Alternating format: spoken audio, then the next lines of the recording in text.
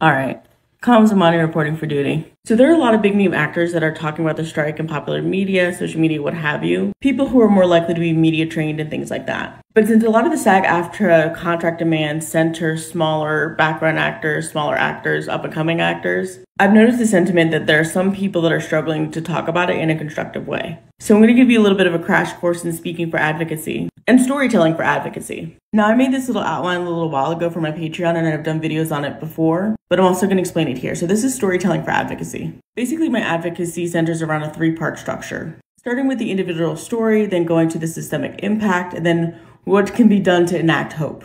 That's basically the broad strokes of it. And you can save this if you want. I always want people to start with their individual story or an individual story because most people get to advocacy, get to the movement work through an individual story. This is really where you want to show how the problem manifests in a very personal way. So, for instance, Kimiko from Orange is the New Black talked about how people would go from set to their evening jobs, bartending and such, and the strain that it took for them to do both.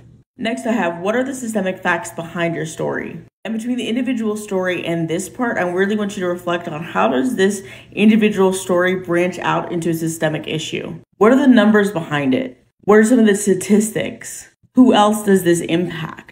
Examples include the number of striking SAG AFTRA members who are unable to make the bare minimum to qualify for SAG AFTRA membership. How many people are kicked off of health insurance every year because they cannot meet that minimum? The number of SAG AFTRA members that live at or below the poverty line. Those are the numbers that you really want to hammer home here. So again, we're going from the individual story to the systemic impact. Lastly, we're going to bring it all together with enacting hope. This last part is where we ask what can be done. This is where we put the actions you want people to take part in, the leaders and activists you want the general public to listen to, the books, resources, or materials you want people to read. And a little tip here is don't fret if you don't have all the answers. If you don't have all the specifics, that's where you tap into your community. Point people in the right direction of people who they can listen to that have those answers, who have done that work. I view that as counting as well. I hope all this helps. Good luck out there.